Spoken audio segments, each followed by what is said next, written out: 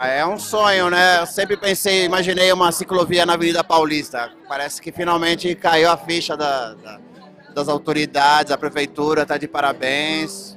Com essa atitude legal, menos carros na rua, né? menos poluição, mais fácil de mobilidade. A gente conhece capitais no mundo inteiro que optaram pela, pelos transportes alternativos e a bicicleta é um deles.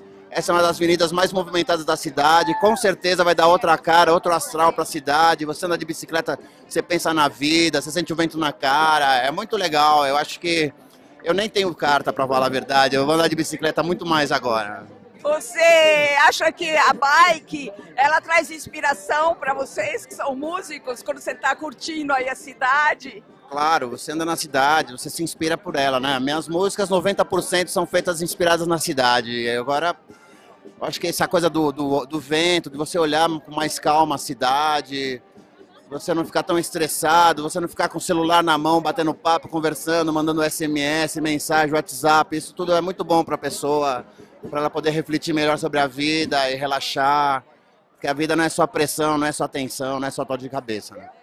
Inscreva-se no Mova-se, participe. Se quiser colaborar, envie fotos e vídeos sobre mobilidade urbana da sua cidade para o nosso WhatsApp